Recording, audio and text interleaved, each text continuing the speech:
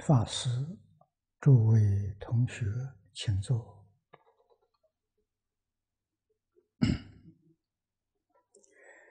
请看《大乘无量寿经解》第六百六十一面，啊，六百六十一面第四行，从当中看起，啊，从浑身念经。啊，这一句经文，浑身印经见汉译，魏译魏是康曾凯的本子，做浑身经师，啊，意思是一样的啊。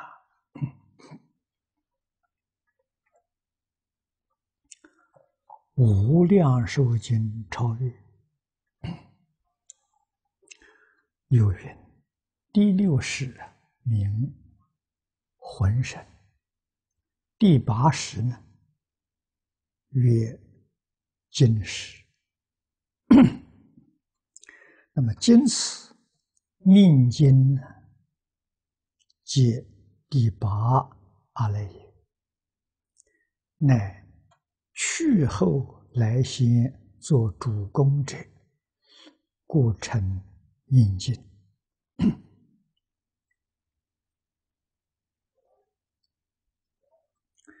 这是一个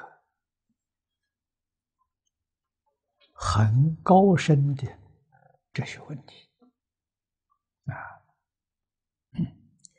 我们要问：宇宙啊，从哪里来的？我从哪里来的？啊？万物从哪里来的？这就讲到阿赖耶了，啊！贤首过世，修华严奥旨，望尽还原观，讲得很清楚，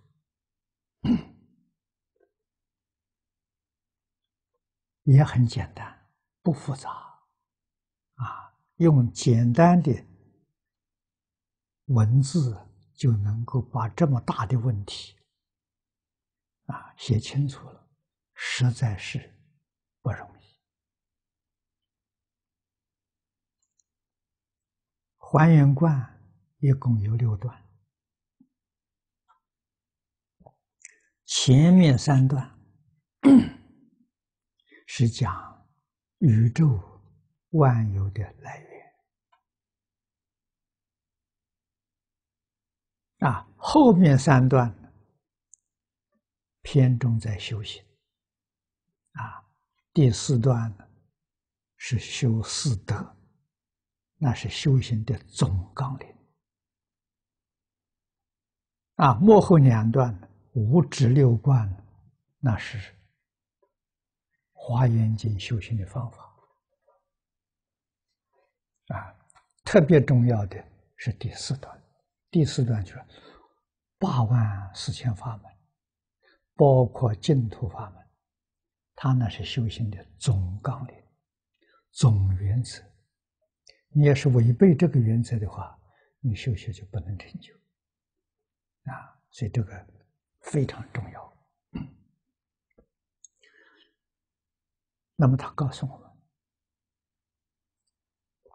宇宙确实像哲学里面的研究这个本体，一切法呢都是从它生出来的。这个题有，但是我们没办法接触到。啊，它真有，真存在。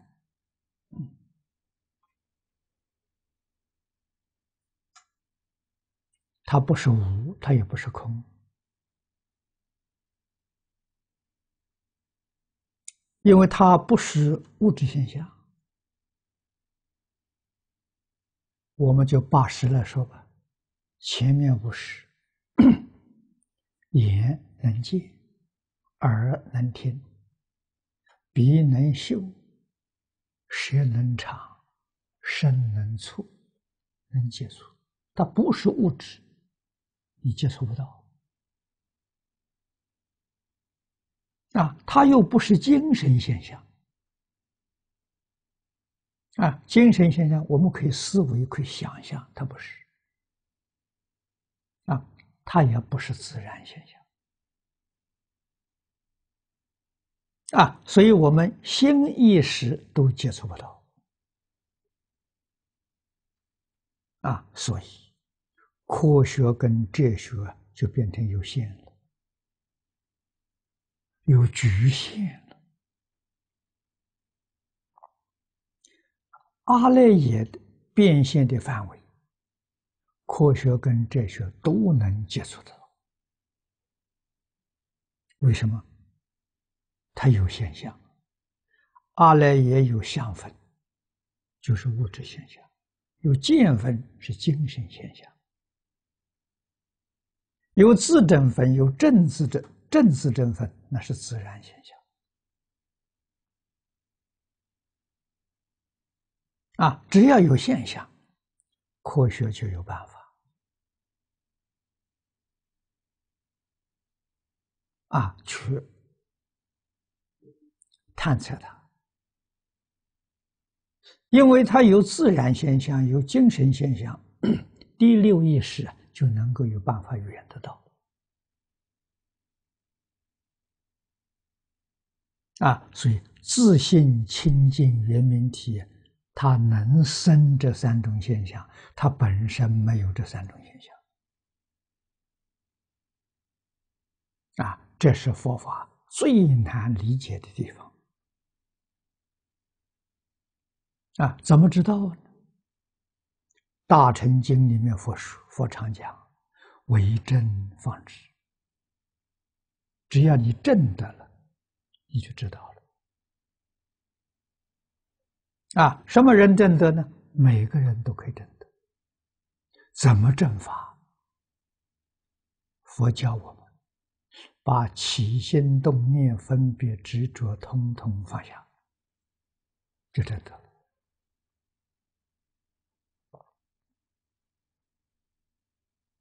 啊，为什么？因为起心动念就是阿赖耶，分别执着就是前七识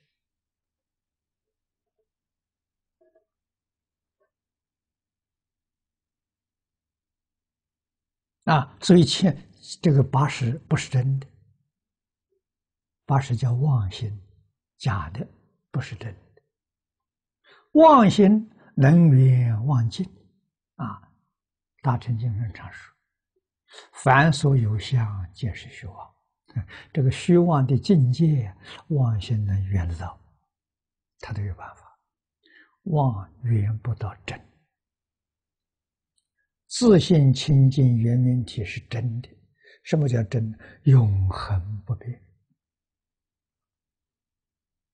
这是真的啊！为什么说阿赖耶是妄呢？阿赖耶是刹那生命啊！我们在前面读到了一句话，我还特别提醒大家要注意，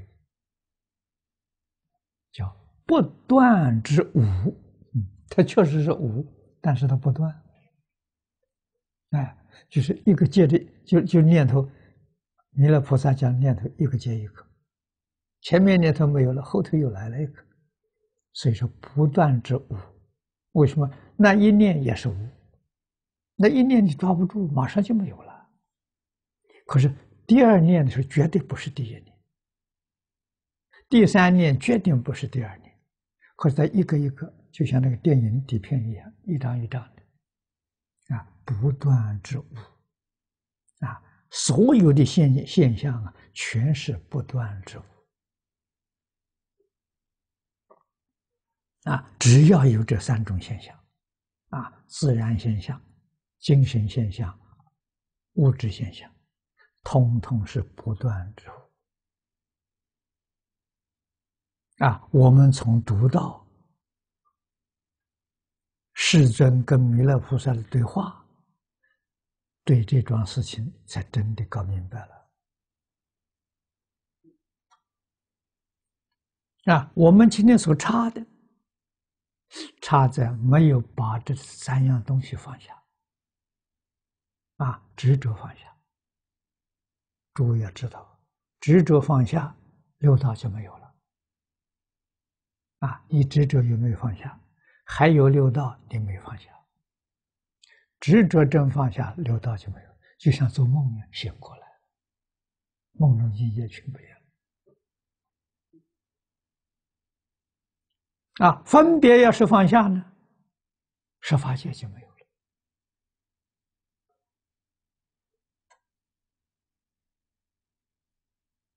啊，这佛十法界的下面的时候是声闻声呃声闻缘觉没有了。啊，不起心不动念呢，连十法界的菩萨佛都没有了。这又是一个梦，这个梦醒过来了。是什么境界？一真法界，就是诸佛如来的十报庄严图。说实在话，是自己的十报庄严图啊，跟诸佛如来的十报庄严图是一不是二，自他不二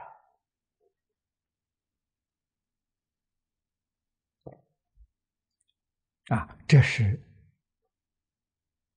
宇宙万有的真相啊！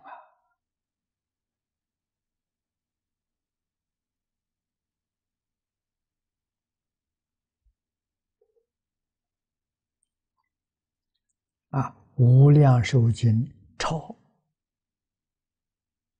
有云：第六意识叫魂神。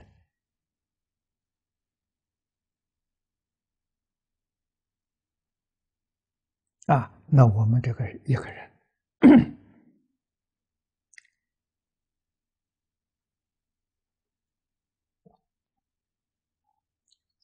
第六识是自己的分别，第七识是自己的执着，那第八识，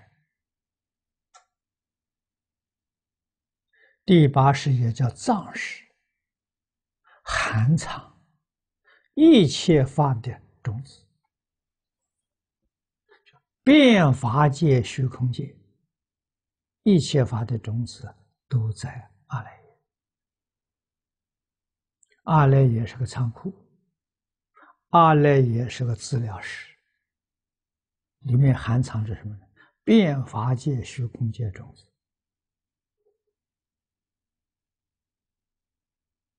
好像是个大的资料库。这个资料库不是我一个人共有的。专有的，是所有一切众生共有的。每一个人的这个起心动念的资料，统统收藏在里头。所以，你要是见到第八识了，每一个人生生世世他所想这个档案，你全都知道。为什么呢？它是共同的资料室。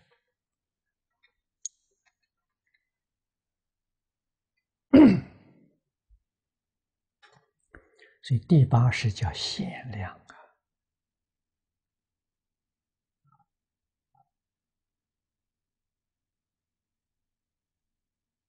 第六、第十、第七是叫比量啊，不是限量。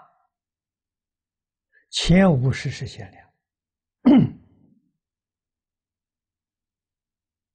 啊，我们眼睛看，看外面的境界相。是看阿赖耶的相分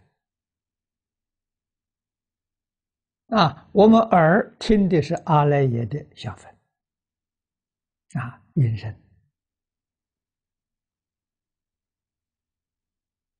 啊，他们能接到接触到，但是我们今天对这现象里头有起心动念，有分别有执着，这个阿赖耶里头没有。阿赖耶没有分别，没执着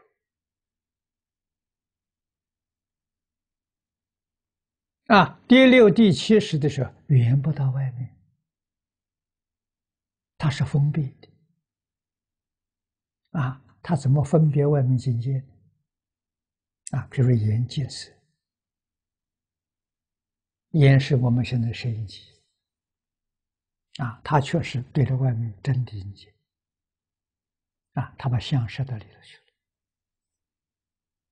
了，啊，射进去之后啊，传送给第六识，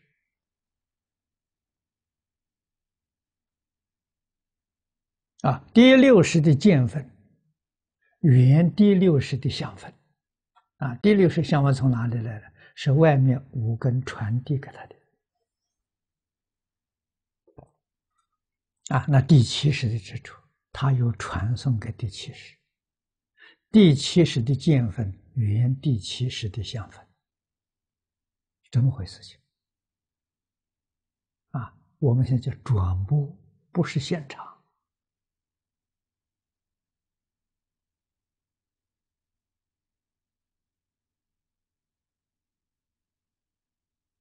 啊，六七八这三个事都圆不到现场，啊，就好像我们自己的眼睛看不到自己眼睛，你只能看外头，看不到里面。啊，你能够看到自己的时候，那是传播，你说你在看到，啊，不是传播，你看不到自己。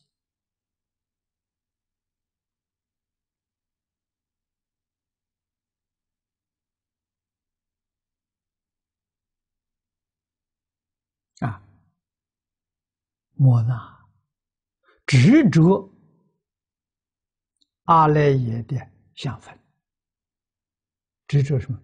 微乎其微呀！执所有一切身呢，都是阿赖耶变现的。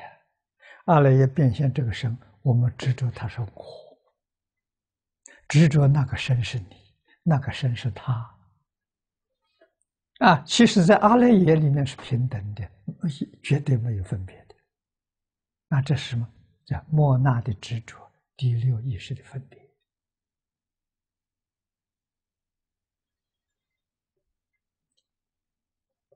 佛跟我说，跟我们说，这是事实真相啊！了解真相之后，晓得什么？变法界、虚空界，所有一切物质现象、精神现象呢，跟自己是一体。无二无别呀，所以你放弃执着，你就证阿罗汉了；放弃分别，你就成菩萨了；不起心不动念，你就见阿赖耶了，你就成佛了。啊，转八十成四智，就成佛了。啊，这个真相，啊，我们用。我们凡人的呃这个境界来说，释迦牟尼佛在三千年前表演给我们看。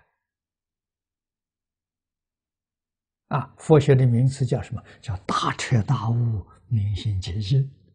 啊，用这个名词。啊，我如果用现在的话来讲呢？他见到宇宙万物的真相了，就这个意思。啊，真相他见到，我们全迷了。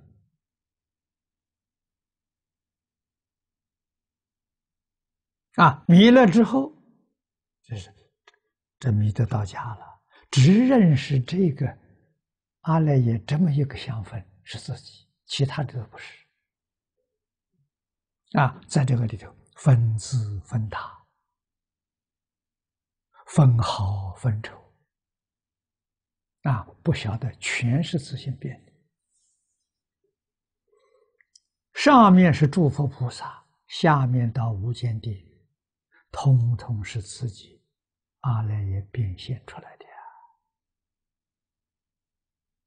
啊，自性能生能现，阿赖耶能变。啊，阿赖阿赖耶为什么能变呢？就是分别执着妄想。我们今天讲的，因为他起心动念分别执着，这是阿赖耶的作用。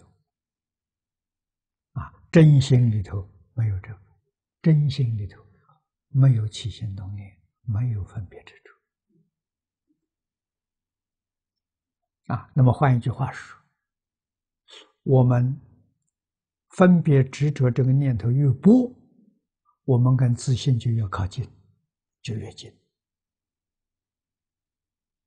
啊，我们的分别执着越严重，就跟自信的距离就拉远了。这用《三字经》上的话，能体会到：性相近，习相远。分别执着起心动念是习性，不是本性。本性确实没有起心动念，没有分别执着。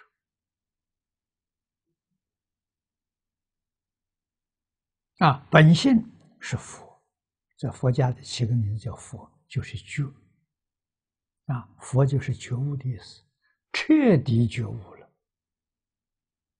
啊，所以觉上面加个圆，圆圆满的觉悟。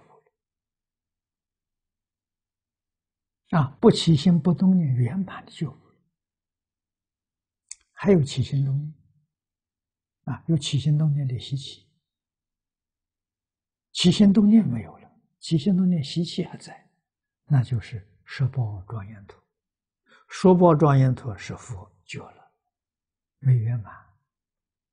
不是？习气没断，习气断尽了，完全回归自信了，这叫圆满，啊，圆觉，啊，圆满的大觉。啊，所以他在迷的时候，啊，迷的时候就六道轮回出现了。在六道轮回里面，去后来先，啊，去是死了，人死了之后，阿赖耶是最后离开，啊，人要来投生，阿赖耶先来。他最先来，他最后去，啊，所以去后来先做主人呐，啊，我们把这个东西当做自己，啊，故称之为命经呐，是这么一回事情啊。佛在《大乘经》里面用大海做比喻。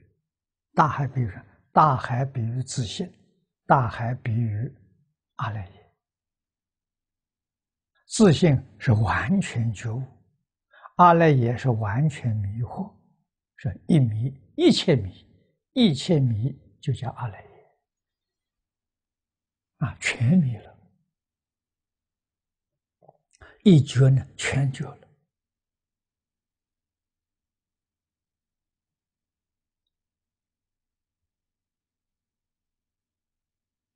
啊，迷了之后，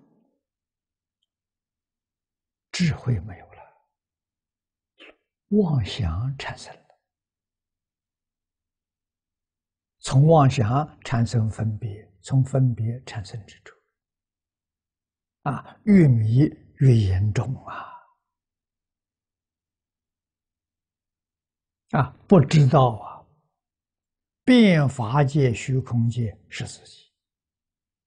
执着阿赖耶相分呢，这么一一分，成为自己，啊！佛在经上做比喻，把大海比喻阿赖耶，大海里起个水泡，那个水泡啊，就是第七是执着，哎，执着是阿赖耶的这一份，啊，认为是自己，啊，原来是个大我，就变成一个小我。小我造罪业，念念都是为这个小我啊！自私自利、名闻利养、贪嗔痴慢，造无量无边罪业，就产生变化了。这就变什么？变六道轮回啊！六道轮回是怎么来的？那什么时候真正觉悟了，了解事实真相了？我不再执着这个水泡生活了，我知道大海里的所有水水泡都是我，啊，连大海的本体都是我，啊，变法界、虚空界全是我啊！一切诸佛从哪里来？我变现出来的啊！一切有情众生哪里来的？我变现出来的 啊！全是我，就像做梦一样。你看做梦梦到很多人，那人从哪来的？都是自己变现出来的。梦里头有山河大地啊，那个山河大地也是自己。自信里头变出来的，不是外头啊！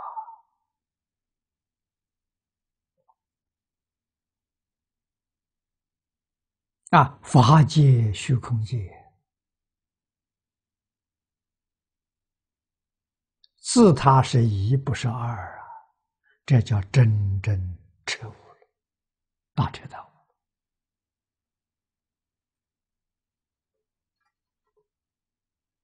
啊，这一觉悟，所有起心动念、分别执着全没有了，自信里头本有的般若智慧现前了。啊，在佛法称之为佛性。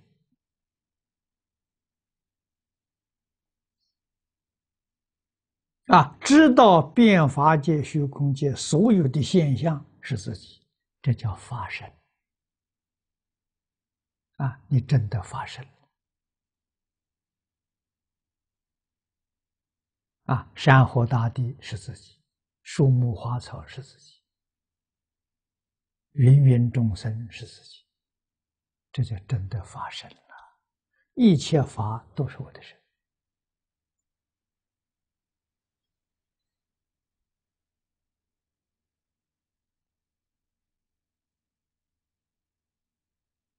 啊，叫清净法身。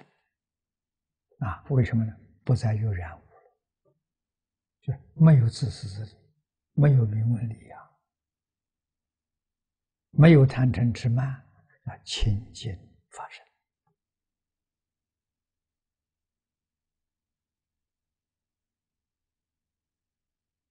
啊，从发生现。报身，法生没有相，法生能现一切相，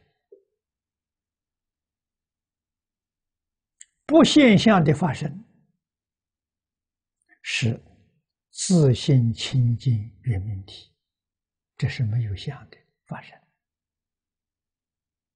现象的发生就是诸佛如来十宝庄严图。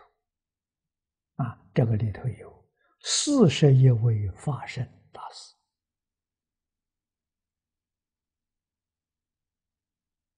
啊，这四十一位法身大事就是所有的我们今天讲众生啊，所有的这些众生。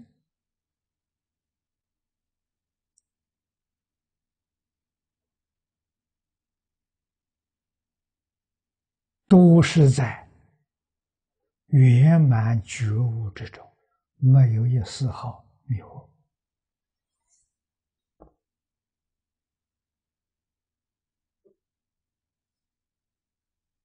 啊，这个境界我们前面学过很多，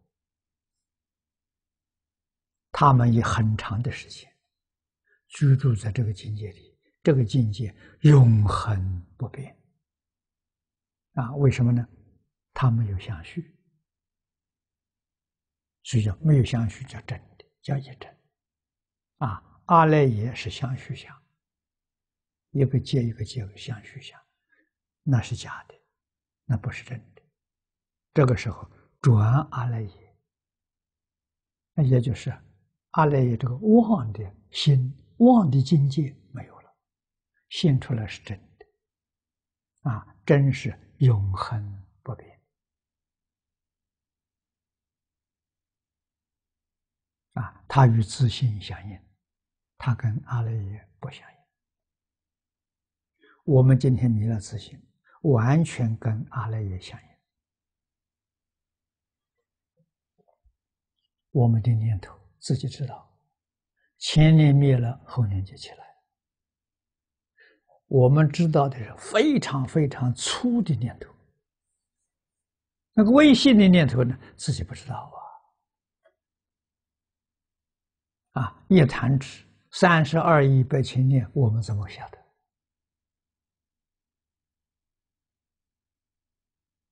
啊，弥勒菩萨不说的话，我们根本不知道。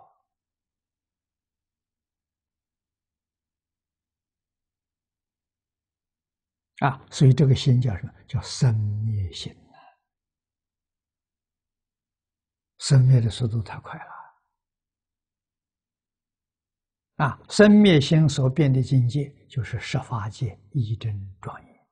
啊，十法界包括六道，全是假的。这个里头现象都是幻象。啊，这现象怎么来的？是我们善不善念头所感的，就是感应变现出来。我们善念不善念也是假的，所以天堂跟地狱也不是真的。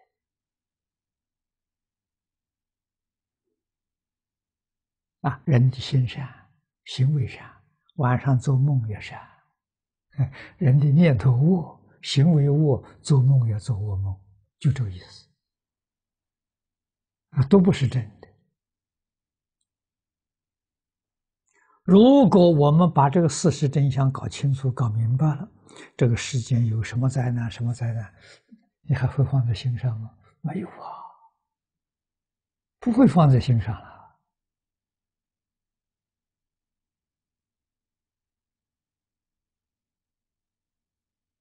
我们虽然没真的发生呢，也得到少许的解脱了。啊，解脱是什么？用现代话说，自在呀，得到少许的自在呀。啊，真正明白之后，佛的话，我们理解了。我们体会到了，啊，佛教我们老实念佛，求生净土。啊，为什么？这一个法门，这一个门路，是真正可以帮助我们在这一生圆满证得无上菩提。也就是说，转阿赖耶为大愿力智。啊，我们到极乐世界去，跟阿弥陀佛学习，要相信阿弥陀佛，不能怀疑。阿弥陀佛是一切诸佛都称赞的一个人。啊，诸佛称赞阿弥陀佛，说他是光中极尊，佛中之王。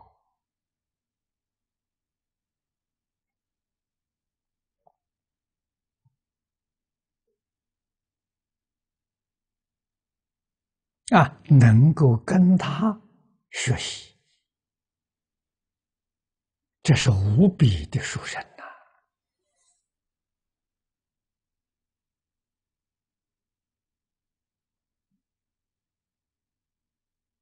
大乘佛法里再找不到第二个了。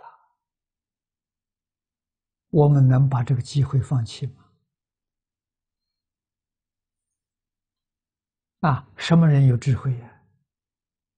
我们就明白了，念佛求往生的人，第一智慧啊，人有智慧啊，搞别的差远了。为什么搞别的你成就不了？为什么成就不了？你自己去想想，你的妄想分别执着能放下吗？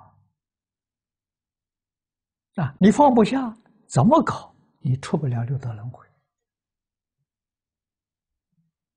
那就是这经上讲的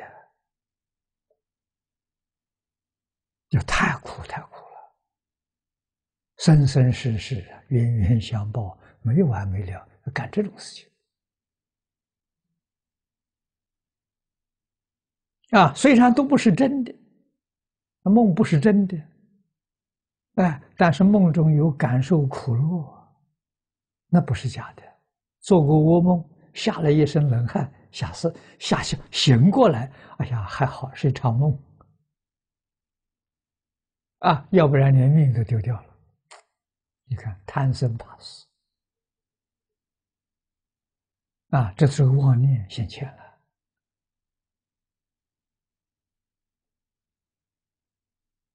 啊，所以这个梦啊，做了这么久了，无量劫了，应该要醒醒，不要再做梦。啊，还是老是念着梦中境界，这就错了，大错特错了。啊，梦中境界不要再去挂念了。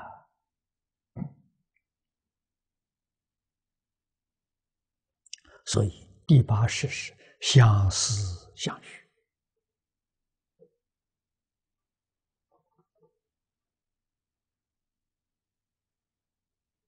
啊，舍命之际，随众投度。啊，生命是人在你这一报寿命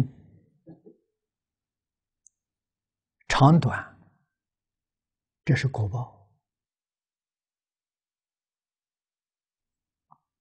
你报尽的时候，这寿命终了；寿命终的时候，你投投胎堕落，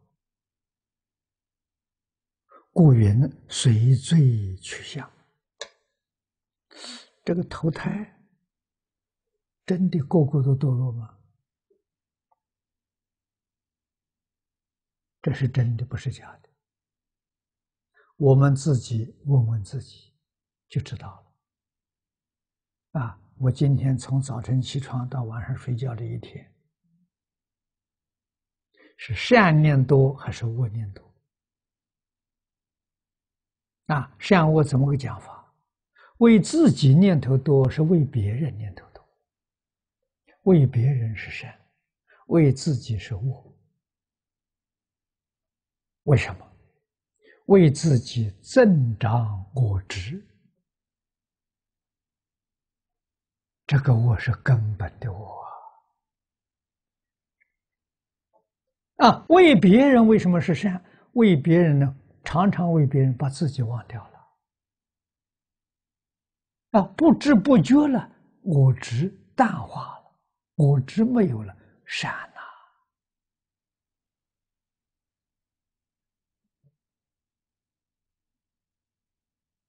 所以佛法是应当常常想别人，别想自己。常常想自己糟了，常常想自己修什么法门都修不成。啊，常常想众生，常常想大臣，啊，或者是我们今天讲的，常常想阿弥陀佛，常常想极乐世界，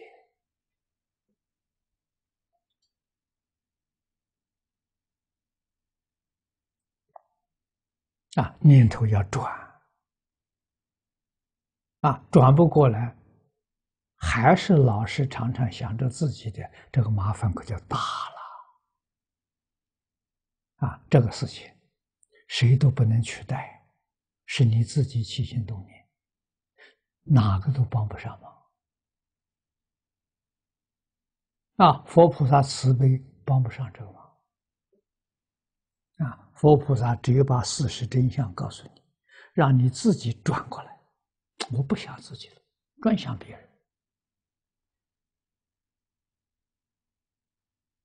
啊，不为自己了，专为众生，这就好了，问题解决了。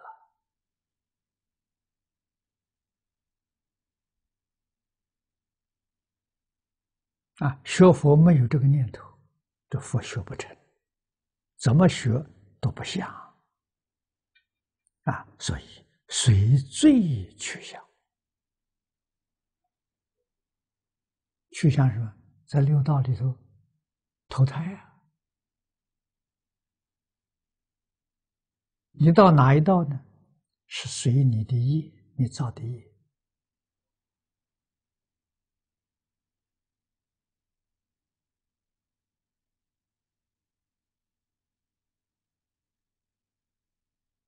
一生善恶习气很多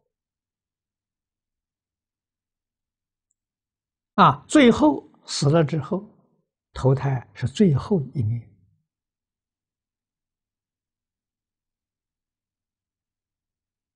啊，那个最后一念念头特别强。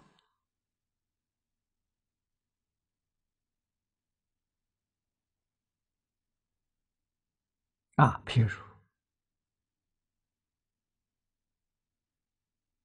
你喜欢一个一个物啊，或者喜欢一个人啊，你很喜欢，情执非常重啊，死了以后到哪里去呢？哎，离不开呀，缠着他了。变成他的儿子，变成他的孙子，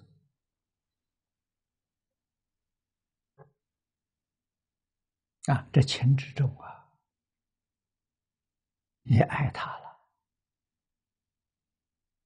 啊，可是有宠物，那爱宠物可麻烦大了。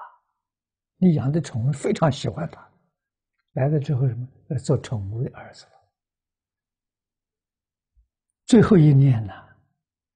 如果你是有个人对你对不起，你跟他结的他跟你结的冤仇，你恨恨透了，啊，来了也会到他家，干什么呢？去报报仇去的，啊，干这种事情去了，这样冤冤相报啊，啊，别人欠你钱，你念念在心，啊，不能放下。你到他家做他的儿孙去讨债去了，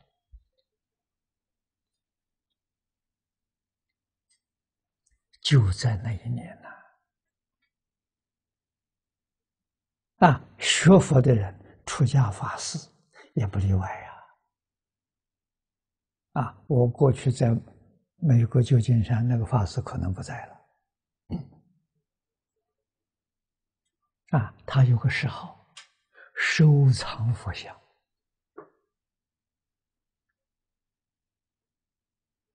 啊，他有个收藏室。我去的时候特别打开给我看，全是古董啊。这个像唐朝的啊，魏晋南北朝的，收很多佛像啊，珍惜的不得了啊。平常那个门都是上锁锁的。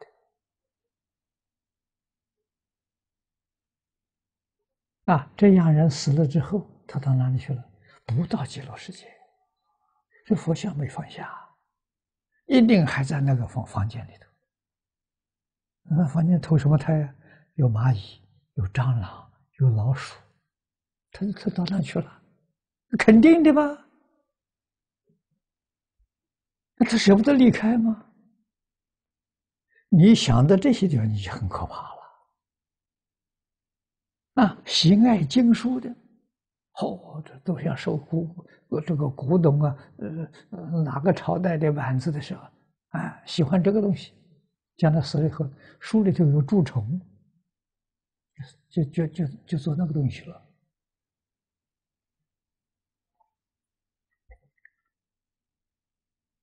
你要都搞清楚、搞明白，你就晓得可怕。啊，这种通通是假的，生不带来，死不带去。你要它这干什么？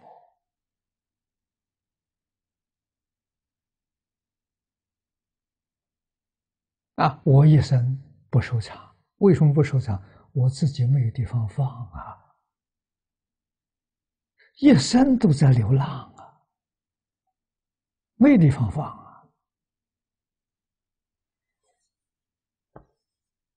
啊，所以别人送我东西，哦，说这个东西很名贵。啊，像我们后面这一张佛像，啊，华严三圣，啊，多少人来看，这佛像是个传下来东西，啊，看这个，啊，细心去观察它呢，应该是唐朝时候作品。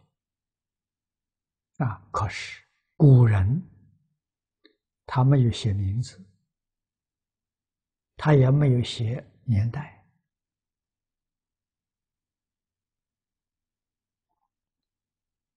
啊，也是一个收藏家收藏的，啊，收藏家过世了，啊，不知道怎么传到一个同学手上，他拿了送给我了。啊，我就叫他复制，我用复制品，啊，原版的我不要。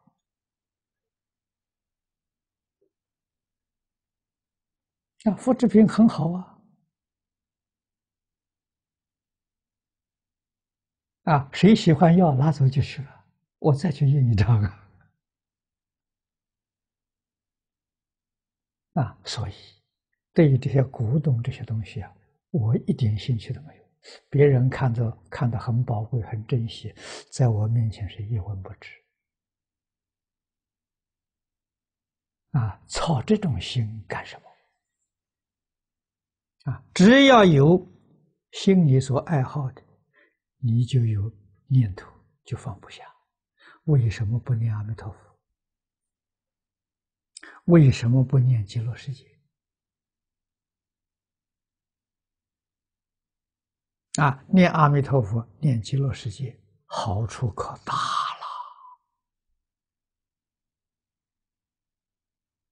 了。啊，现前的好处是心地清净，一尘不染，啊，身心自在啊，法喜充满啊。将来的好处，到西方极乐世界亲近阿弥陀佛。啊，我们要把这个摆在第一了，不可以摆在第二了。啊，什么都要放下。啊，生活所需要的有很好，没有也很好，你就得自在了。啊，所以随罪去向这句话。很严重啊，不能不留意啊！是欲啊，嗜好欲望就是罪，因为它能够把你留在六道轮回。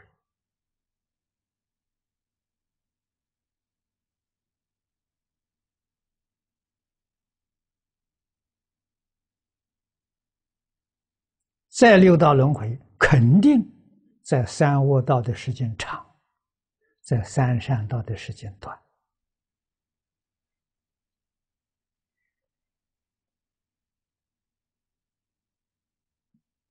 啊，这下面说一起罪报，投入我去，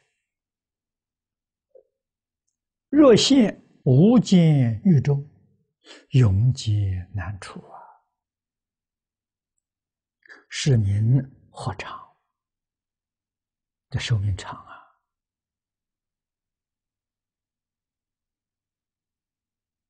离不开地狱啊！何为微菌？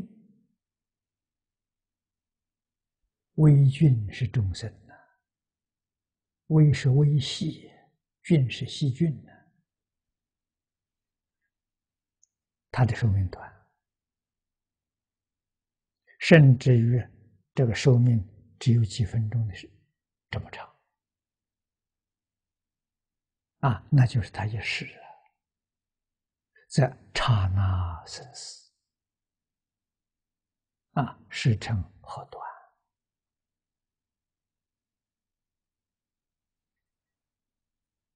啊，为什么这样短命呢？杀业太重，他杀多少众生？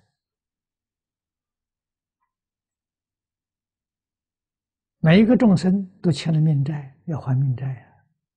怎么个还法？叫万死万生。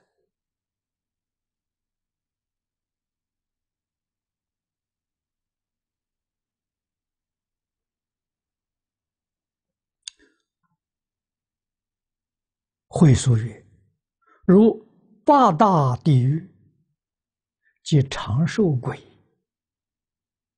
云何长？”啊，轨道里面的寿命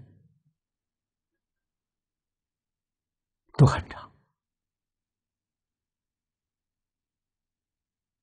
啊，这个长寿鬼是轨道里的寿命最长的。啊，经上告诉我们。轨道一天是我们人间一个月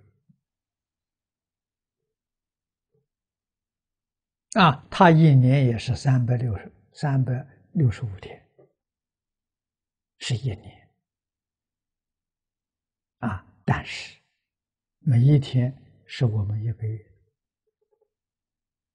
最长的寿命一千岁呀。你堕到轨道，你什么时候能出来呀？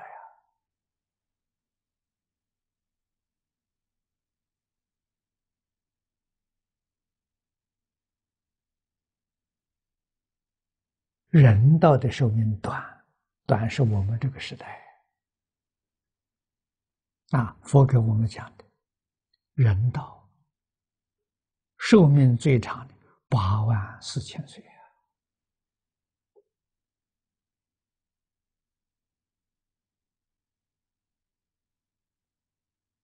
一年啊，从八万四千岁一年减啊，这个一百年减一岁，减到十岁，十岁是寿命最短的平均年龄。从十岁呢，每一百年再加一岁，这一增一减叫一个小节。啊，释迦牟尼佛出现这个时代是简介。啊，当年世尊在世当年，一般寿命是一百岁。啊，世尊灭度之后，到我们现在三千年了，那就减三十岁。现在我们这个世界人民寿命是七十岁。这古人讲啊，人生七十古来稀啊，啊也有短命，也有长命的，那是个人的业报不相同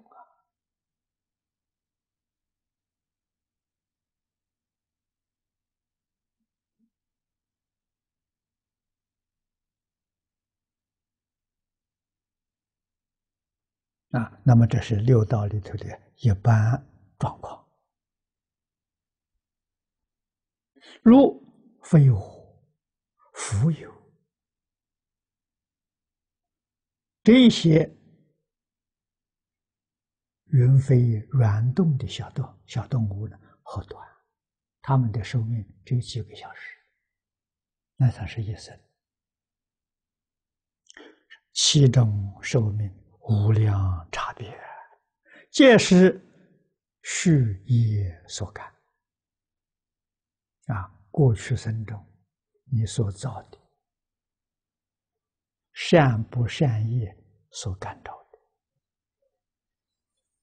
的啊，善去指善道，以受长为福啊；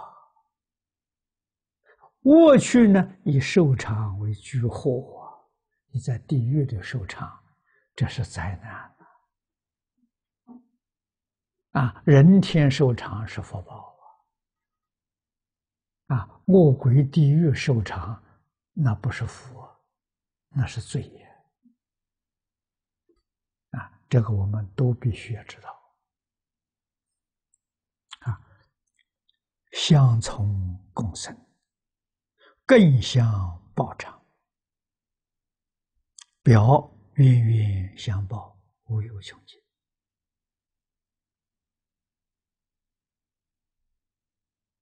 啊，所以佛教导我们，佛教我们断恶修善。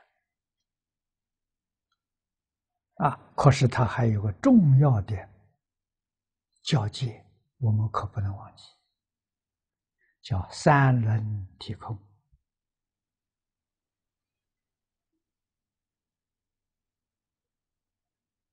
啊，帮助别人，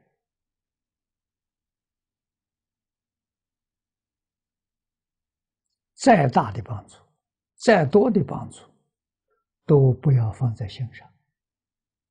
心上是若无其事，没有牵挂，就不会感果报。如果常常想到，哎呀，我对人多好啊，啊，那什么，将来那个人报偿，你也会接受他的报。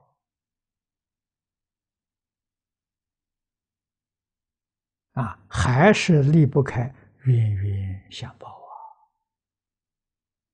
啊，啊生生世世没完没了，啊，这就是人为什么不能脱离轮回？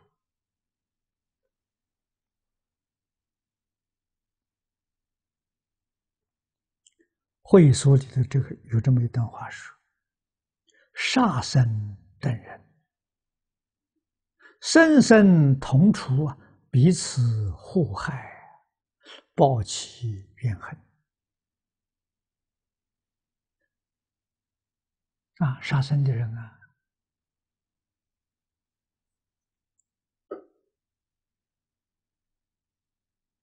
啊，下面念老有解释，例如被杀者呢，为宿命，啊，宿还命债，比追逐其冤家对头，啊，他找这个人呐。同时出现事情，他才能报偿。啊，是故冤家债主啊，相从共生，他又来了。啊，今生人杀羊，来生呢人人死为羊，羊死为人。啊，这个羊又被人杀了。又如猫死为老鼠啊，老鼠死了又变成猫，嗯，猫吃老鼠，来生呢，老鼠又变成猫，它又变成老鼠，又被人吃，又被它吃掉，这冤冤相报啊。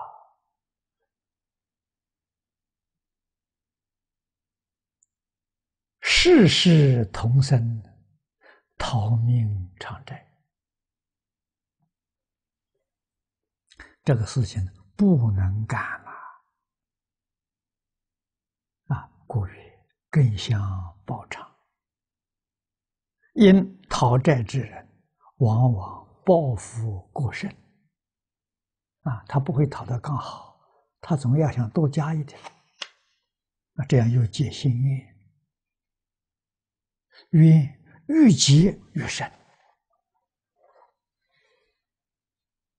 啊！真正是没完没了。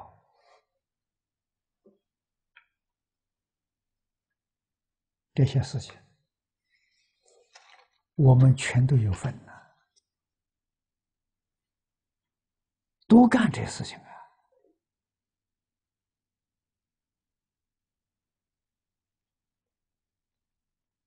啊！啊，不读佛经不知道，得了之后，天天都要做还债相，啊，一定把自己修学的功德回向给过去生中。生生世世的冤亲债主，啊，要回向给他们。无论是有意无意造的这一业，啊，为什么呢？将来自己往生的时候没有障碍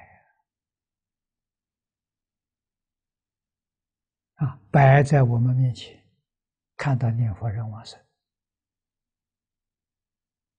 啊，往往看到很多附体的，那都是什么？都是来讨债的、讨命的，他的障碍。啊，你欠他命，他记得很清楚。啊，过去你杀害他，今天他索命。啊，你过去你欠他债，他来讨钱，他不让你走啊。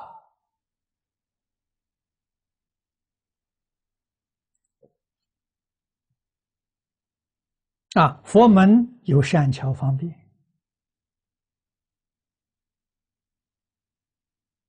有法师，有同参好友看到了，出来调停，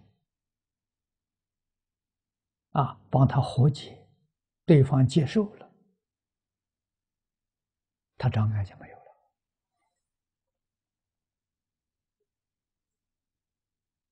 啊，只要有人出来调解，绝大多数都愿意化解。为什么？明白了，觉悟了。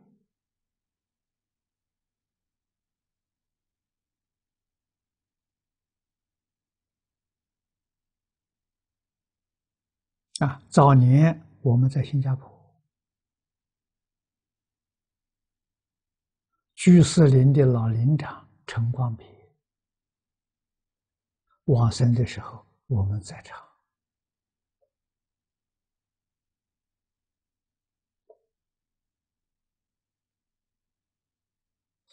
这个老居士虽然是佛教徒，什么是佛教他不知道。啊，他在新加坡。也是名人，也是富豪，啊，银行的董事长，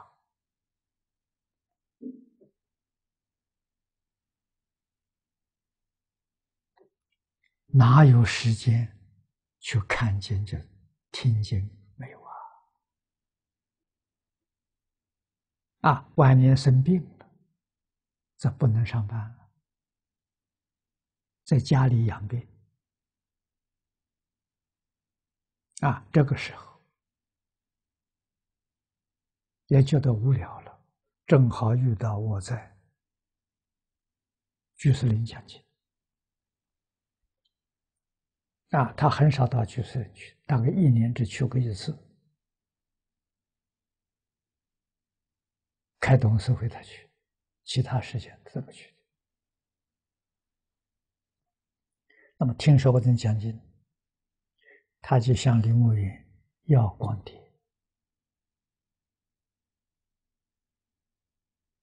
好像好像那个时候还不没有光碟，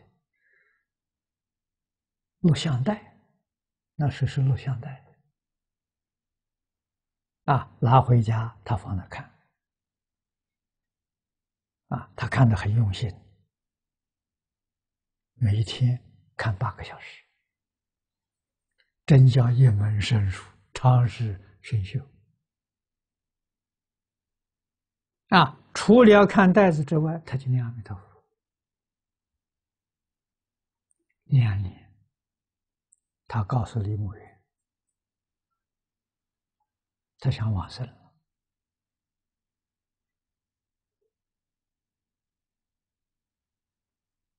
啊！李牧人就求他：“你不能走啊！”居士林的人事不稳定啊，没有你啊，居士林维持不下去。要求他再住两年，他答应了，好吧？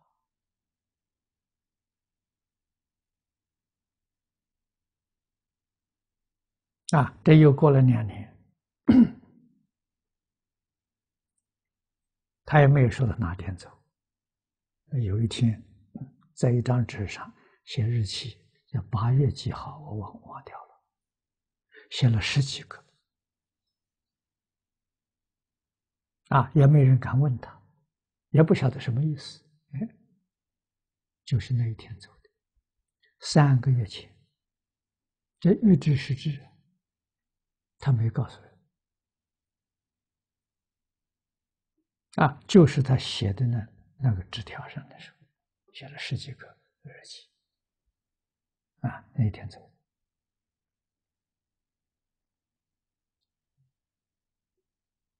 居士林那个时候正好办一个弘法人才培训班，啊，有十几个同学，大家四个人一班，轮流助念，啊，有一班同学 助念回来。我们都不晓得，很正常嘛。回来了嘛，回来了。居士林有个居士，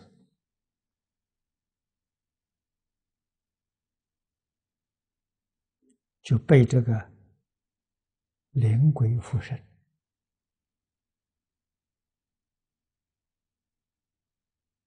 啊，说他们是老林长的冤亲债主。人数很多，就他们看到老林长念佛往生，非常欢喜。啊，他说：“我们来不是找麻烦的，是来求皈依、求超度的。”啊，这个我们大家都放心。啊，他跟着法师一起到居士林，居士林的护法神。准许他们进来。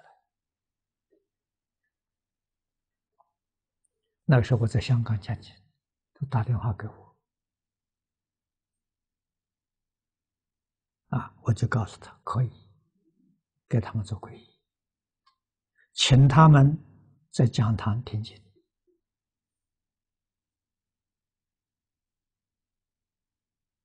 啊，他们回答的说，讲堂的光太强了。啊，有佛光，他们不敢进去。最后要求呢，希望在斋堂吃饭呢，斋堂。啊，在斋堂里面放一个大的电视，他们要听《地藏经》，要听《十善业道经》，就指定这两部经。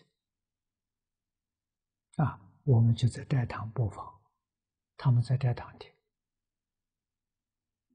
啊，好像播放了连续播放三个月，全都全都走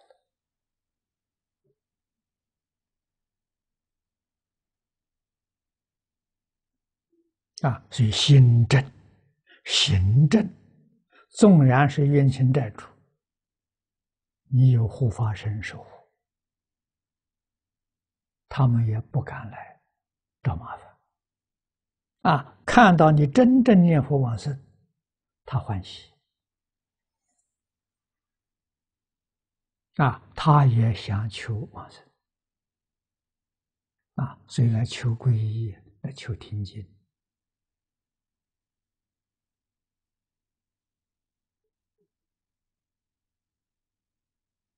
所谓是人同此心。心同此理呀！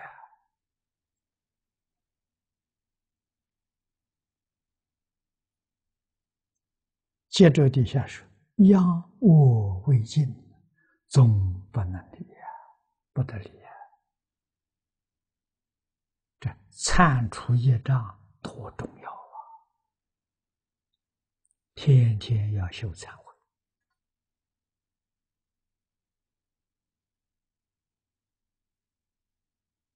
啊，张家大师当年告诉我，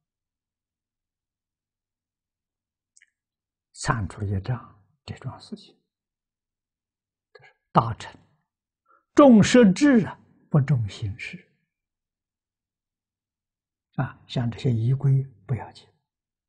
啊，什么叫真忏悔呢？后不再造，叫真忏悔。啊，忏悔了还干，这是假的，这不是真的。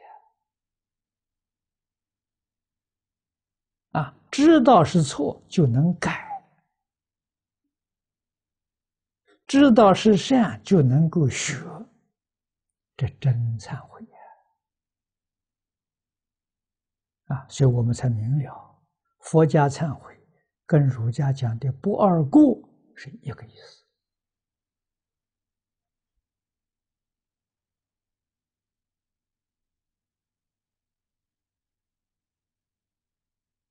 啊，我们无世界以来，冤亲债主可多了。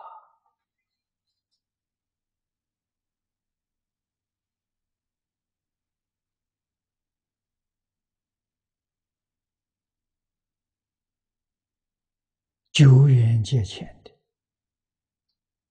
也许遗忘了，我们忘了。那不是深仇大恨的话，忘掉了，那他也可能也忘掉了，啊！可是越近，那个报复的心越强，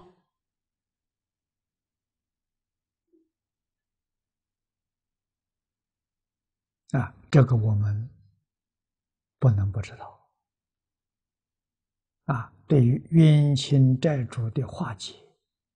要有近机缘啊，在眼前的要摆在第一位，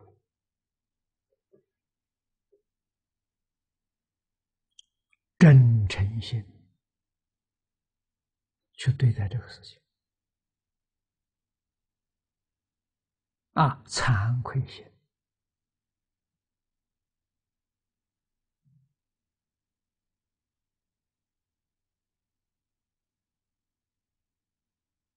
啊，我做错了事情，对不起他，一定要有修学功德回向来补这过失。别人对不起我们的地方，一笔勾销，啊，绝不放在心上，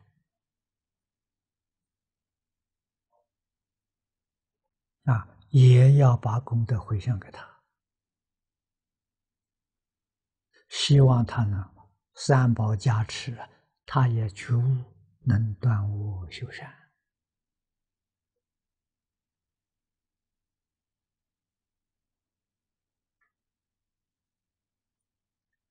总要时时刻刻想到是将心比心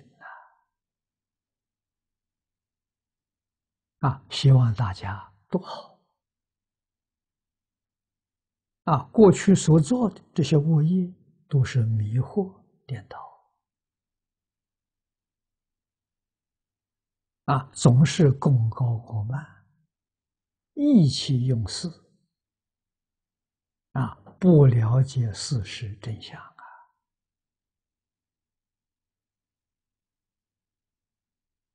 啊，今天明白了，觉悟了，知道错了。啊，我觉悟了，他没觉悟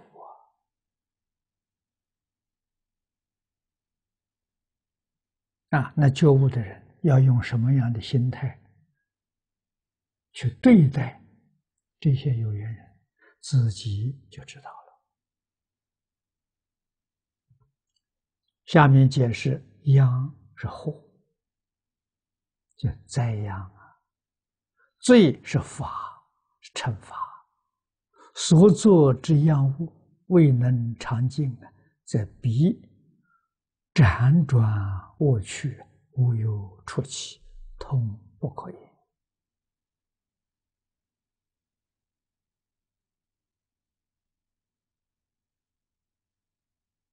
啊，那我们过去生中所造的恶业，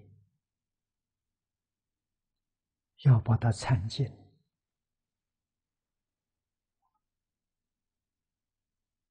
什么时候能参见？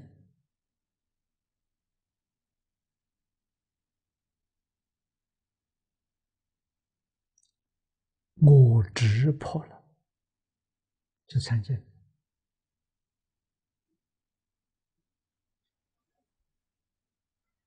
为什么？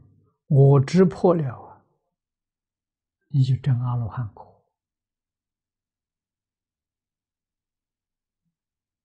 你就超越六道轮回。六道轮回里头的冤亲债主永远找不到你了，你不见了，在六道里不见了。啊，如果你还有我的话，你生生世世总在六道里头，你出不了六道轮回。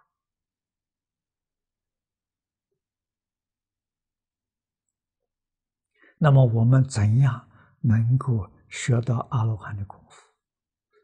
用念佛法门，念到事业心不乱，就跟阿罗汉断正功夫就平等了。啊，理业心不乱，那是原教初住以上的境界。啊，事业心不乱是阿罗汉以上的境界。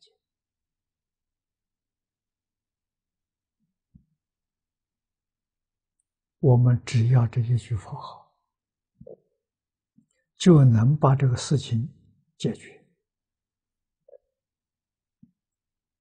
用别的方法很难很难，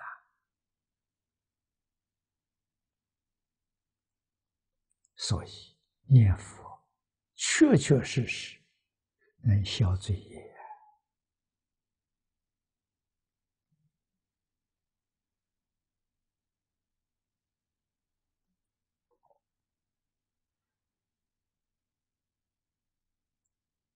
啊，这个业障不消，就是跟六道的业缘没断。下面自然有事。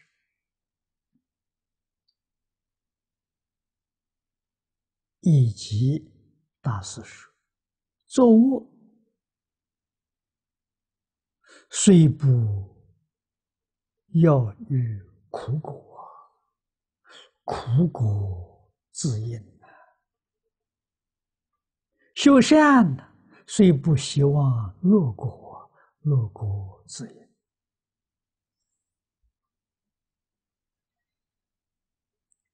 这是讲因缘果报，作恶不希望，将来得到苦果啊，哪一个做恶的人希望将来有恶报？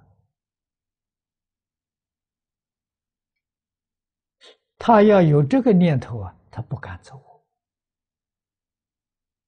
啊，晓得作恶后头有恶报，他怎么干？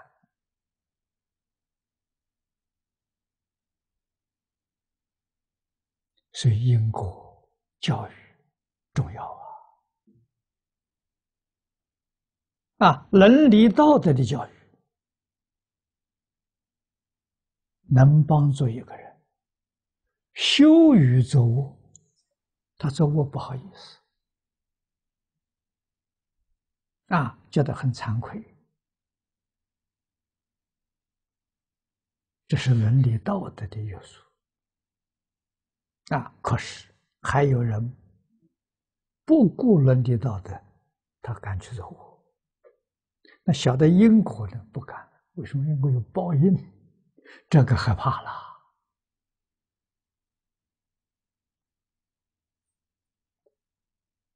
就中国这个社会，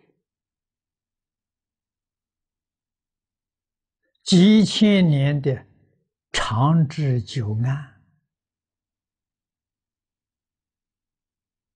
实实在在讲，得力于儒释道的教育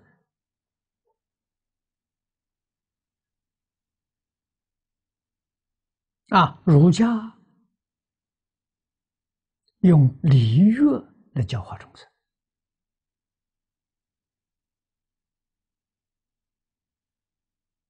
啊，让众生明理。啊，讲究仁义、忠孝。啊、廉耻，讲这些东西。啊，他愿意做个好人。愿意在社会上做个好样子。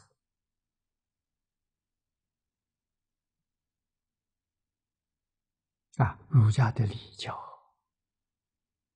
啊，道家的因果教育，这城隍庙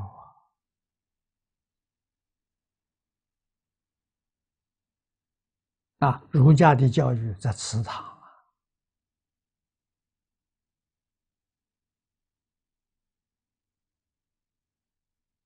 顿悟伦常。啊，道家的教育在城隍庙，城隍庙属于道教的，啊，因果教育，善有善果，恶有恶报，啊，因缘果报丝毫不爽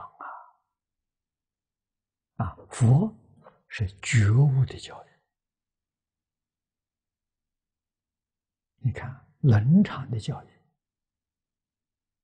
啊，因果的教育，觉悟的教育，了解事实真相，他不会错。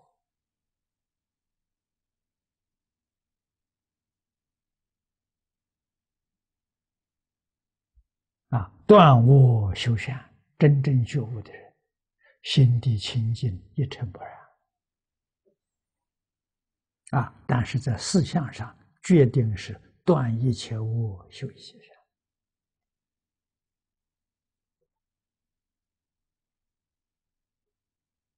善。啊，这个是四种啊，还原观上四种基本的德行，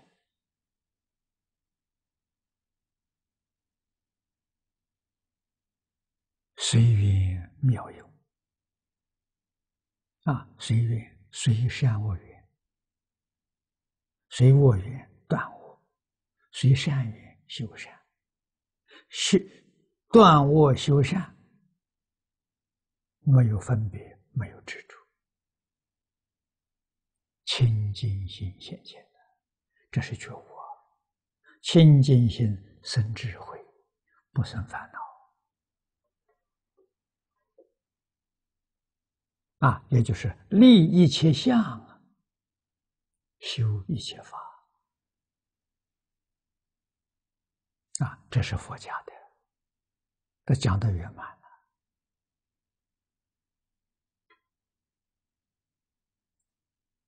啊，三教把人都教好了，人人是好人，事事是好事，啊，家庭幸福美满，社会长治久安，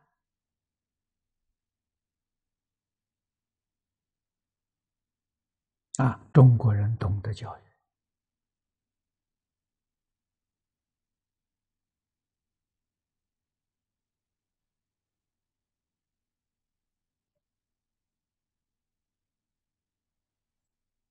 啊，这是从因果上说，作恶不想得苦果，苦果自然相应。感嘛，苦果它就应嘛。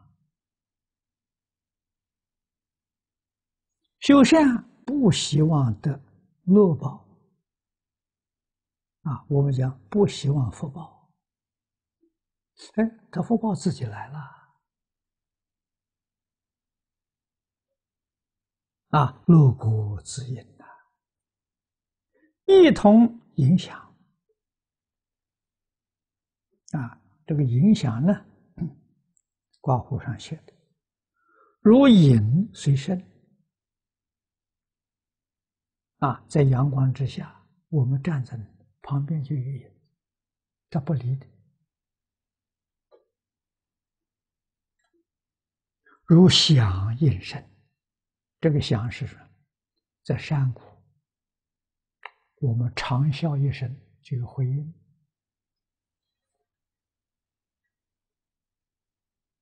都是比喻善恶的果报，自然的。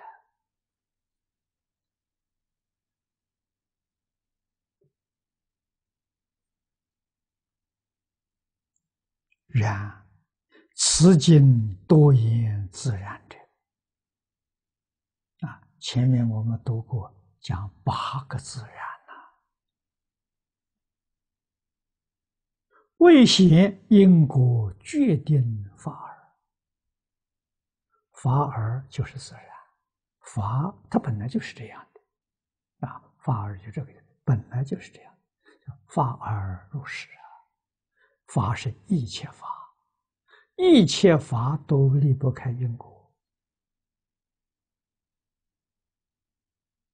啊，我们起心动念是感，决定有回应，就法而自然。我们现前这个地球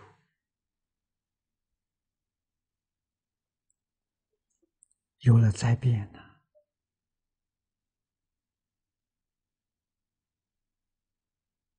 啊，从三月份。有同修汇集这一个月当中有多少起灾难啊？把这些新闻标题揭露下来给我看，没有内容，标题啊，三月、四月、五月、六月、七月这四个月，一个月比一个月多。一个月比一个月严重啊！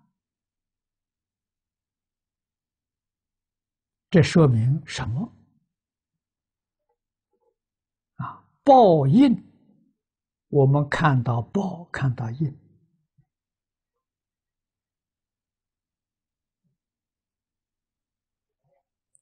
那我们就得想一想，这报应从哪来的？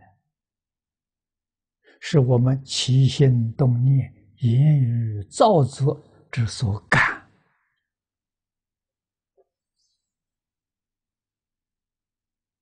啊，我们起心动念是什么？我们言语造作是什么？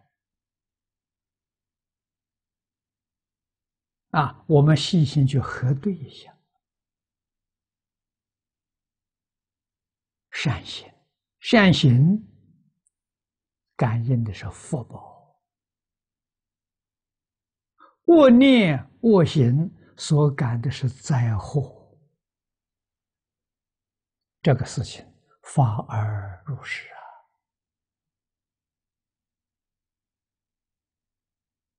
啊！啊，所以我常常跟同学们说啊，绝对没有自然灾害，啊，自然永远是美好的。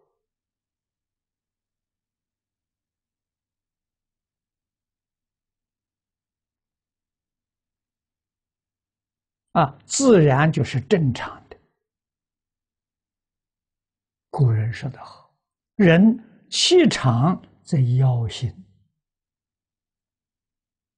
啊，人把正常放弃了。啊，正常的是什么？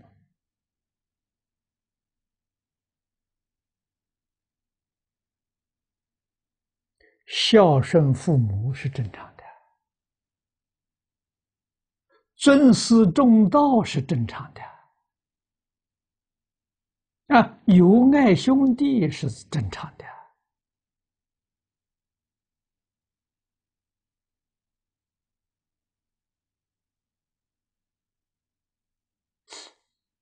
与朋友交讲信用是正常的，所以伦理道德就是正常。今天我们五伦五常、四维八德都不要了，这叫反常。反常的结果是什么？是妖魔鬼怪、天灾地陷全来了，这反常了吗？啊，天地反常了。现在好像新闻上也常常报气候反常。什么都反常了，啊，反常怎么来的？是我们的起心动念、言语造作反常了，感得来的报应。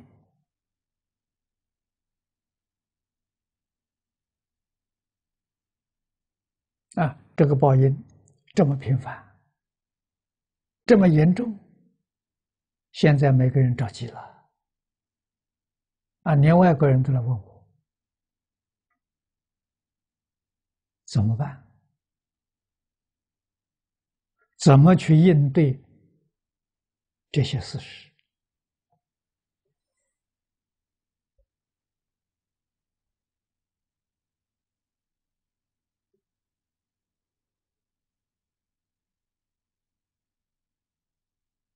这个事实很不好应对，什么原因呢？因为现代人善于怀疑，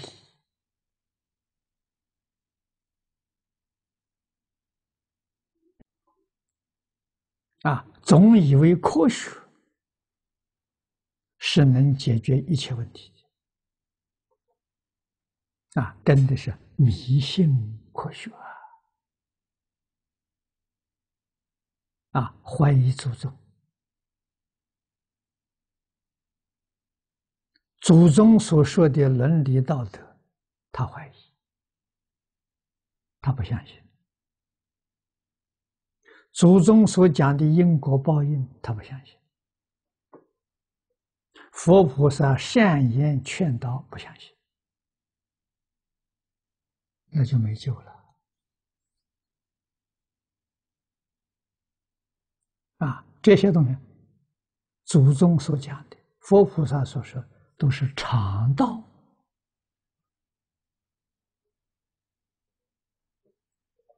是真理。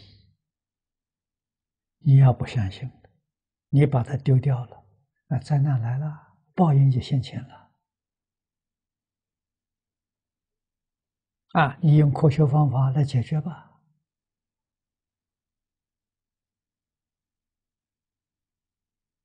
为什么科学不能解决？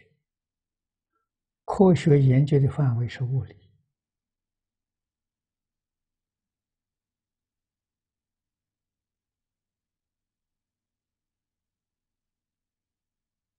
物理的范围是有限的，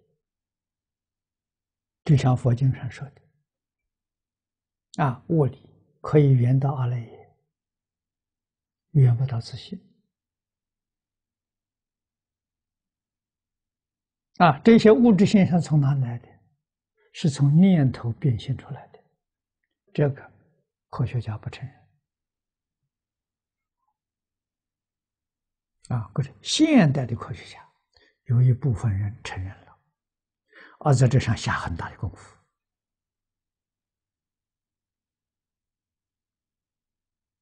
啊，佛法讲物质的起源是一念不觉而有无名。啊，无名就是阿赖耶。无名里头有三种现象出现了。啊，第一种业力。啊，科学家称它做能量。啊，能量从哪来？能量从振动来的。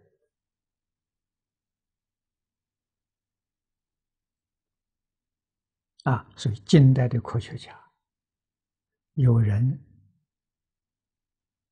认为整个宇宙是个波动现象，啊，所以他用弦来代表，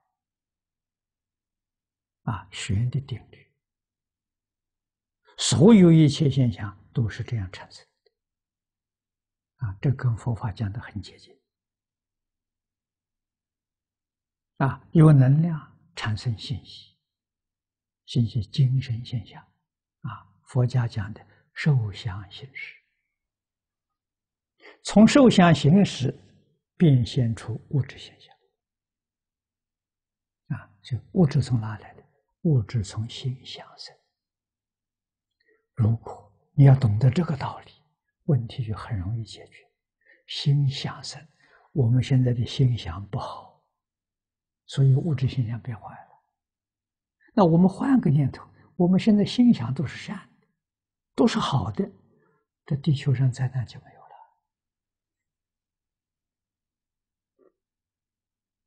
啊我们身体上疾病就能恢复正常啊恢复健康啊。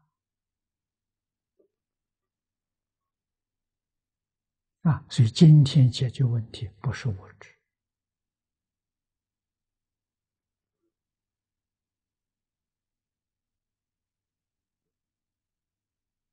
啊要用心理的问题来解决。啊，意念的科学，用这个新兴的东西来解决。啊，才能够化解这一些灾难呢。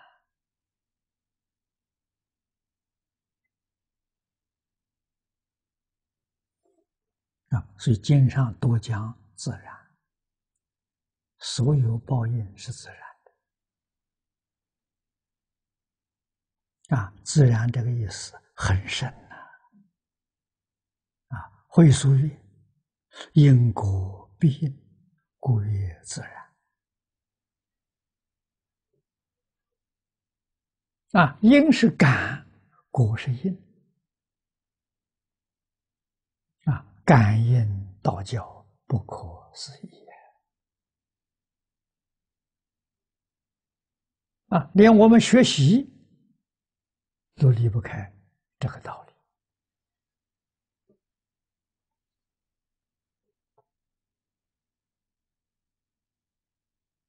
啊！特别是中国传统文化跟大乘佛法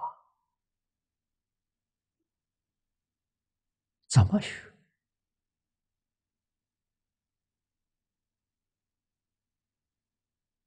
啊，尤其是在现在这个时代，我们想学，指导的老师没有了，学习的环境没有了，这个时候怎么办？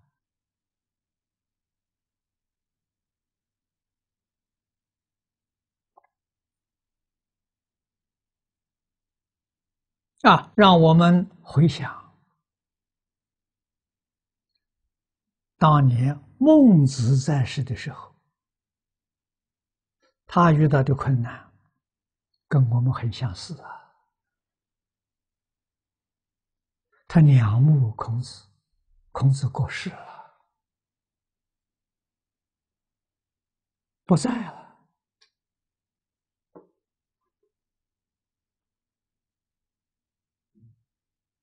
孟母虽然三千，来帮助他，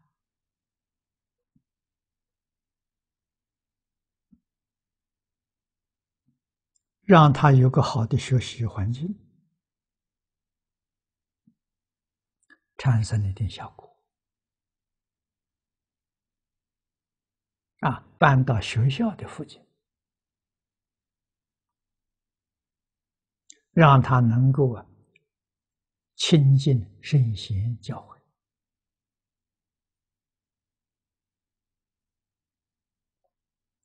孔子虽然不在，孔子著的书在，他就一门深入，长时熏修啊，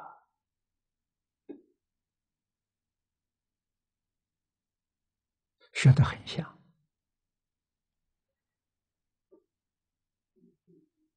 似乎孔子又出现在世间，啊，后世尊尊他为亚圣。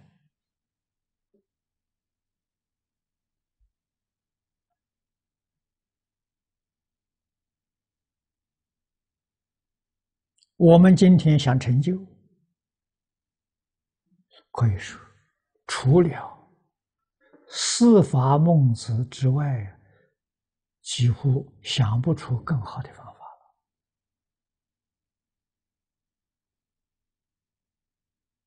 了。啊，那必须要用夫子的态度，你才能真正学得好。啊，夫子是什么态度啊？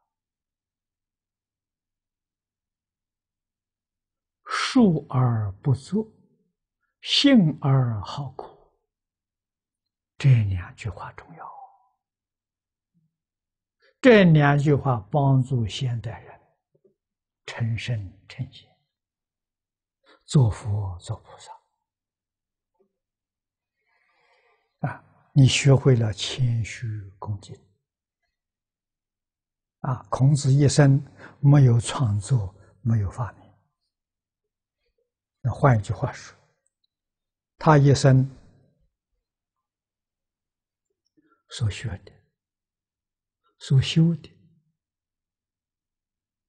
所教的、所传到后世的，全都是古圣先贤的东西，没有自己的。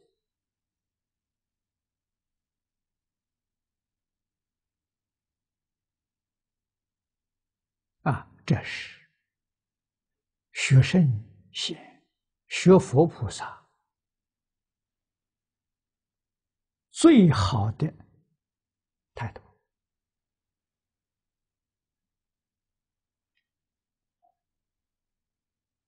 啊，真正的把孝养父母、奉事师长做圆满了。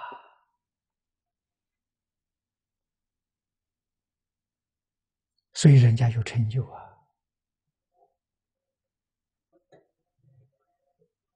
啊，那么现在学校教学，我听说幼稚园的小朋友，老师都是主张让他们创新。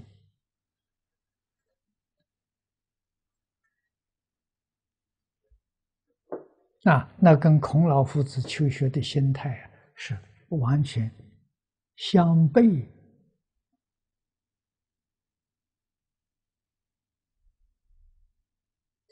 这个有问题啊！是背道而驰啊，能成就吗？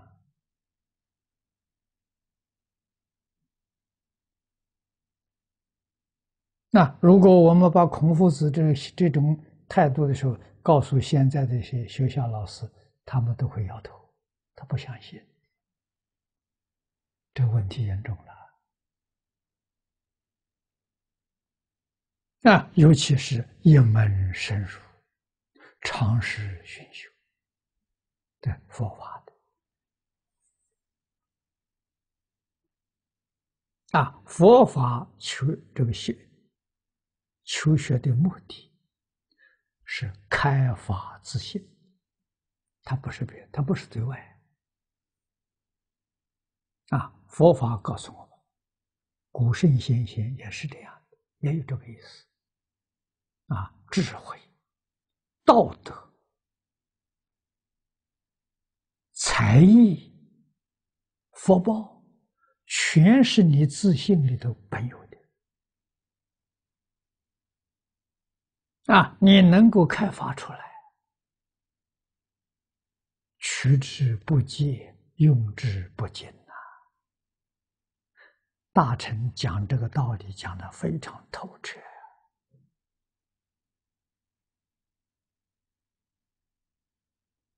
啊，有事实给你看呐，话不是假的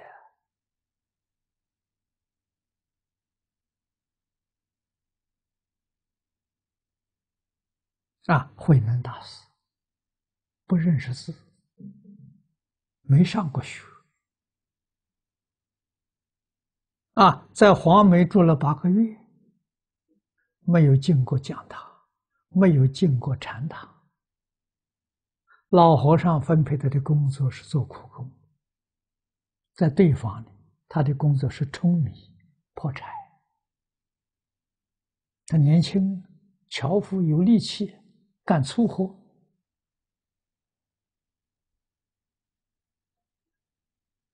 啊，开悟之后。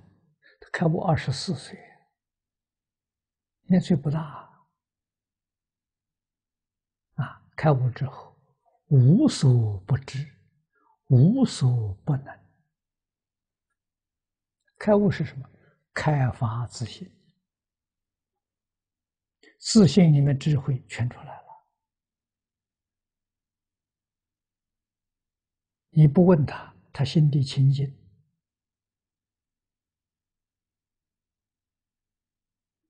般若经上所说的般若无知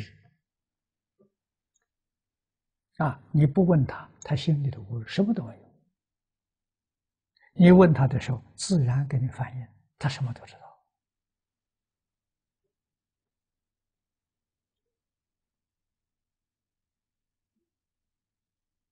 啊，他实现的是个出家身份，就大家都在问的佛经典里面东西。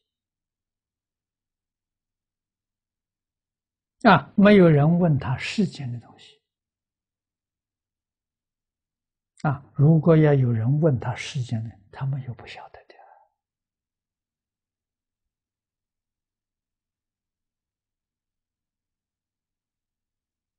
啊，如果慧能生在今天，别人问他原子弹怎么造法，他会告诉你。为什么？一切法不离自性呢？所以见性叫大圆满。什么圆满？智慧圆满了，道德圆满了，能力圆满了，福报圆满了，没有一样不圆满。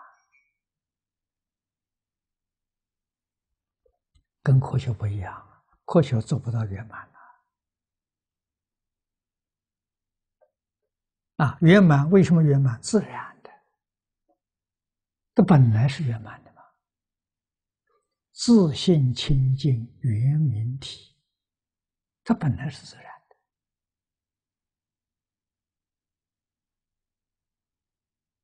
的。啊，东方圣贤教学，他教的是这个东西，不是外头的。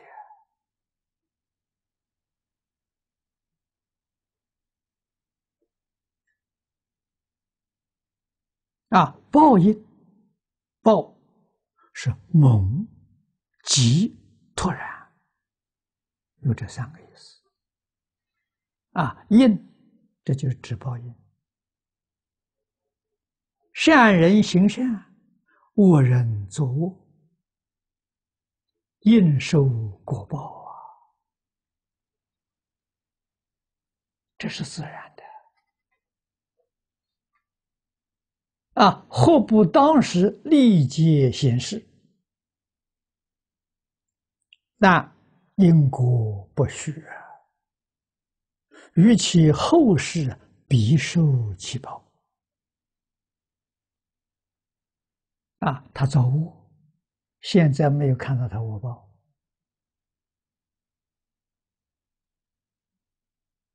为什么？这佛在大乘经上讲的很清楚。他过去生中修的这个善太大了，他现在享的福是过去生中啊修善的福没享完，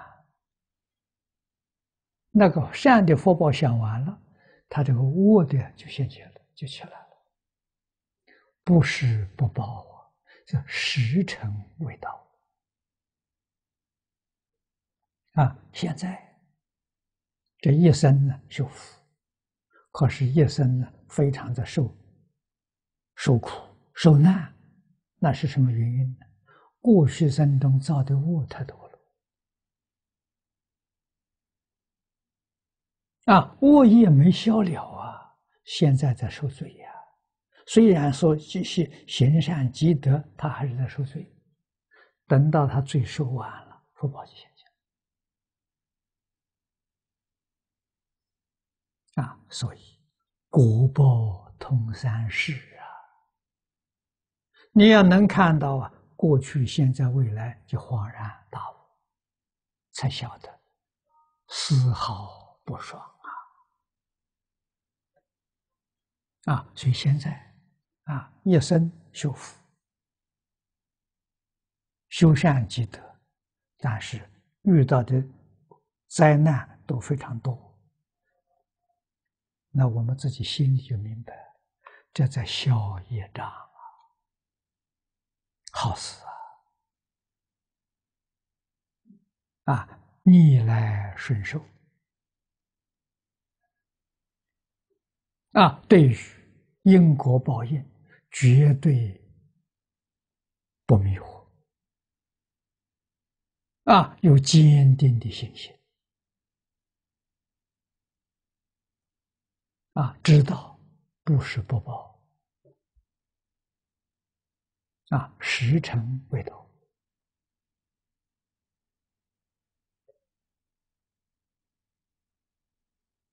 我有一次在北京，黄老居士往生之后，我到北京去过两次。啊，他老人家的学生来看我，告诉我他老师说的，就是黄念老说的，跟他们讲的。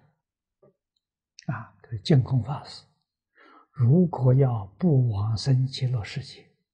来生的福报，这是不得了，不得了。他这样的赞叹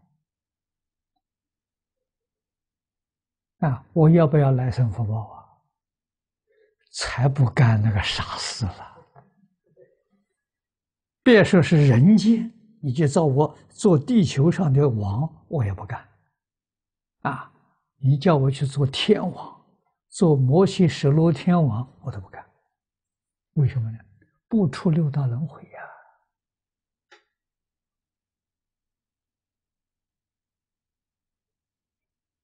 这干不得了。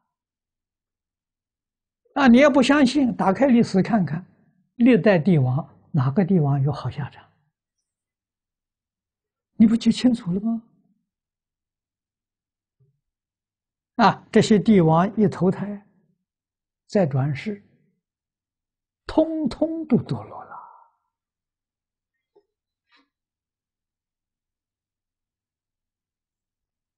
啊！能够再到人间啊，变一个普通的人，那就算不得了了，很难得了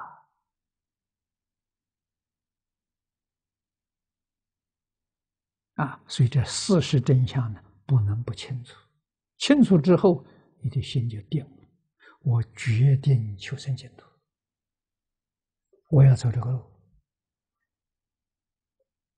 啊！我决定去亲近阿弥陀佛，到极乐世界证得究竟圆满的菩提。啊，再到这个世间来，那就是佛菩萨成愿再来，这个好啊，不迷惑，不颠倒啊，不会干坏事啊，不会堕落啊。啊，我们这一生遇到这么好的一个机会，啊，换取来生这大富大贵，错了，拿黄金买块糖吃啊，就这个意思吗？这个这个事情怎么能干呢？